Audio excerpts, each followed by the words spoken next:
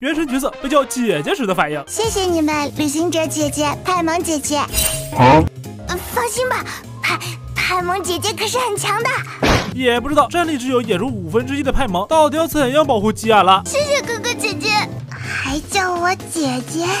嘿嘿嘿本来还在犯困的早柚，一声姐姐，瞬间就精神了，这不比闹钟好使多了。而我们另一个女儿，在叫姐姐方面也是双标的很。阿姨，谁叫我阿姨？可丽愿意。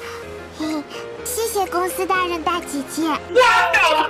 最让我绷不住的还是那一声甘雨姐姐，这不是甘雨姐姐吗？这位大爷在叫甘雨姐姐，也不爱啊，请不要借机。